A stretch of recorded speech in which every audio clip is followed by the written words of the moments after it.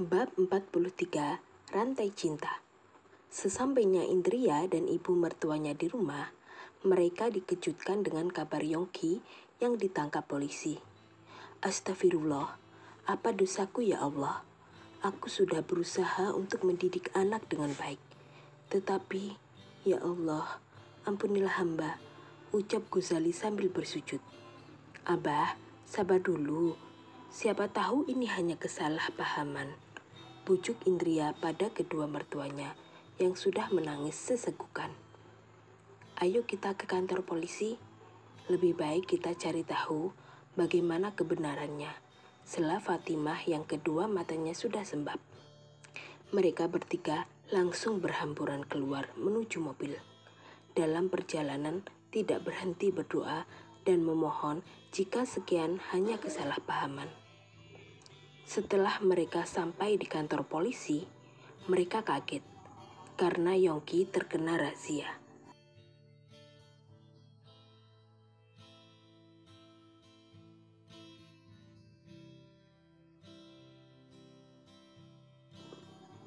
Yongki, kamu sudah berjanji pada Abah, tidak akan nakal lagi. Tapi kenapa kamu tidak bisa menepati?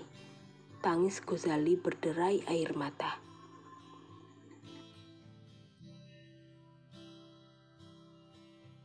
Demi Allah, percayalah padaku.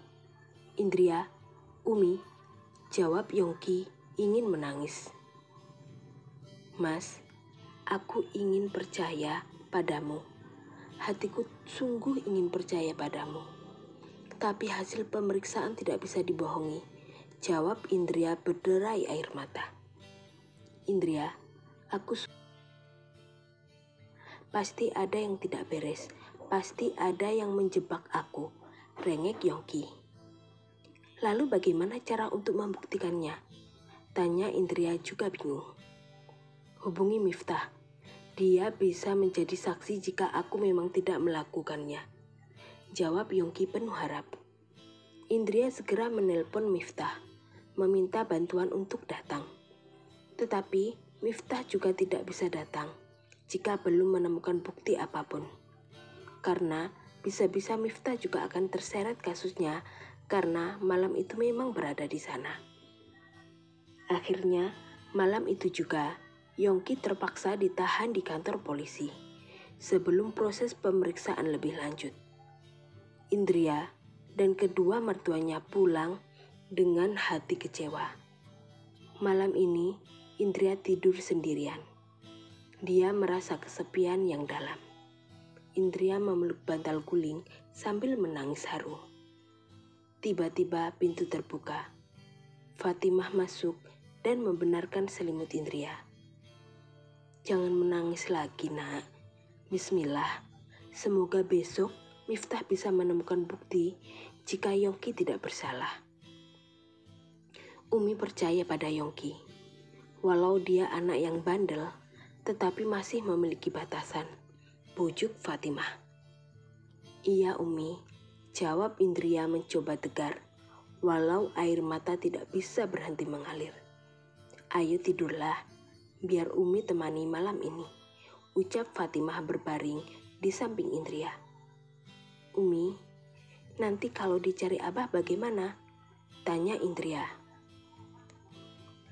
Justru Abah yang meminta agar Umi menemani kamu nak Jawab Fatimah tertawa geli. Indria ikut tertawa. Entah kenapa, dia mulai merasa tenang. Sebab selama ini memang kekurangan kasih sayang seorang ibu. Indria, Umi mau tanya, kamu sebenarnya mencintai Yongki atau hanya karena sekedar berbakti pada orang tua? Tanya Fatimah penasaran. Indria tersipu malu tetapi dia juga ingin mengutarakan isi hatinya selama ini. Awalnya hanya sekedar berbakti pada orang tua, Umi, apalagi dulu Mas Yongki sangat menyebalkan dan kalau berbicara sering melukai hati. Tetapi semakin kenal dengannya, Mas Yongki sebenarnya cukup baik. Hanya saja karena gengsi dan tidak bisa mengutarakan isi hatinya. Dan Mas Yongki malah malu jika terlihat baik. Dia ingin menunjukkan jika dia adalah bad boy yang keren. Jelas Indria panjang lebar. Yongki, Yongki. Andai saja dia tidak salah pergaulan, sudah menjadi anak yang baik. Gumam Fatimah. Malam ini, Indria sedikit terhibur dengan cerita uminya mengenai masa kecil Yongki yang memang sudah nakal sejak kecil. Sering menyembunyikan sandal sebelah milik jamaah di masjid, menyalakan mercon, dan dilempar ke ternak ayam, mencuri mangga milik tetangga, beramai-ramai bahkan yang paling parah adalah ngeprank orang yang hendak azan subuh dengan menyamar sebagai setan. Dan saat itu membuat orang-orang takut keluar rumah di malam hari. Tak terkecuali orang yang hanya sekedar untuk pos ronda. Pagi harinya, Indria dan kedua orang tuanya datang lagi ke kantor polisi. Terus menghubungi Miftah, tetapi belum mendapat kabar. Indria sangat panik dia tidak mau suaminya masuk penjara jika memang tidak melakukan kesalahan. Mas, semalam bisa tidur atau tidak? Tanya Indria. Kasihan melihat sang suami tampak lelah dan lesu. Bagaimana aku bisa tidur? Aku terus memikirkan jika kamu tidak percaya padaku. Dan Miftah tidak berhasil mencari bukti, maka aku akan dipenjara apakah saat itu kamu akan mencari suami lain?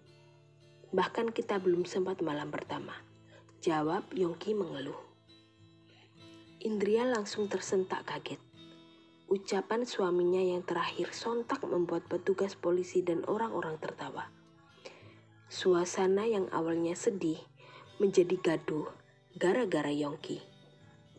Kemudian Miftah datang tergopoh-gopoh menyerahkan hasil video yang memang pada awalnya diniatkan sebagai koleksi kenang-kenangan saja. Karena pada saat terjadinya razia, polisi, kamera itu masih menyala dan sempat dibawa kabur oleh pemiliknya. Miftah menyerahkan bukti. Jika sejak awal Yongki tidak minum apa-apa, kecuali segelas minuman yang diberikan oleh Bastian. Sehingga tuduhan Yongki masih bisa diselidiki lagi. Hanya saja, masalah tidak berhenti sampai di situ. Indria kaget melihat Yongki yang menggendong Nadia dan menyelamatkan dari gerombolan. Indria menangis pedih. Jika memang hanya iseng-iseng, sedikit dia masih bisa memberikan maaf. Tetapi untuk Yongki yang berusaha keras menyelamatkan Nadia sampai menggendong sungguh membuat hati terluka tak terelakkan lagi. Indria, percayalah padaku. Jika aku tidak Aku hanya menghadiri pesta ulang tahun, pujuk Yongki. Indria memakai kacamata. Tidak ada yang tahu jika saat ini dia berderai air mata kepedihan. Mas, bukan masalah itu. Tapi, Indria tidak sanggup berkata-kata. Dia langsung berlari keluar. Indria tadi juga merekam video saat Yongki menggendong wanita lain. Dia segera menuju ke universitas dan mencari Firman. Assalamualaikum, Pak. Maaf mengganggu sebentar. Apakah ini adalah perempuan yang dilihat saat membeli perhiasan? Tanya Indria tanpa basa-basi. Waalaikumsalam. Coba aku perhatikan wajahnya lagi. Jawab Firman juga ikutan tegang. Videonya tidak begitu jelas, tapi kamu coba bandingkan apakah sama dengan foto yang aku simpan. Setelah Firman tidak berani menyatakan pendapatnya. Dalam sekali lihat saja, Indra sudah bisa tahu jika orang yang ada di foto dan video sama. Terima kasih, Pak. Kalau gitu aku permisi dulu. Assalamualaikum, ucap Indria langsung pergi. Dia tidak menoleh ketika Firman memanggil-manggil namanya. Dunia seakan begitu keras untuk dia jalani. Mas, aku mencintaimu. Aku ingin hidup bahagia bersamamu. Tetapi jika seperti ini, baku tidak sanggup. Indria pulang ke rumahnya sendiri. Kali ini dia benar-benar ingin cerai. Rasa sakit yang lebih jauh dalam. Sebab dia sudah mencintai suaminya sepenuhnya. Apalagi Yongki juga sudah menyatakan cinta dan memberikan janji suci. Tapi semua telah ternodai. Suaminya masih belum bisa menjadi lelaki setia. Indria membereskan barangnya. Tekadnya sudah bulat untuk bercerai. Sebelum pergi dia menyempatkan diri untuk menulis surat yang terakhir.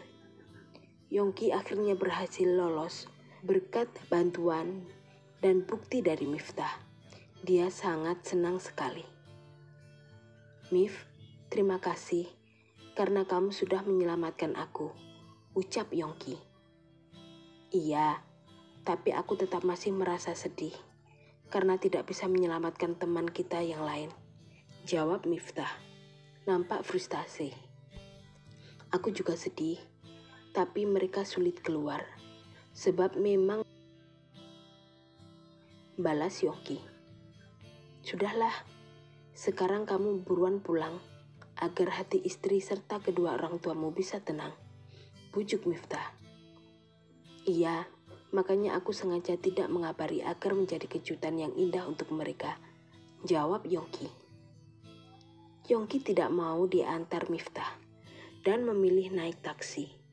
Sebab Miftah juga masih sibuk dengan banyak hal. Sesampainya di rumah, dia disambut penuh tangis harus oleh kedua orang tuanya. Mana Indria? Tanya Yongki. Tadi setelah sholat zuhur, langsung pamit-pamit pulang. Jawab Gozali dengan wajah cerah. Yongki semakin bahagia.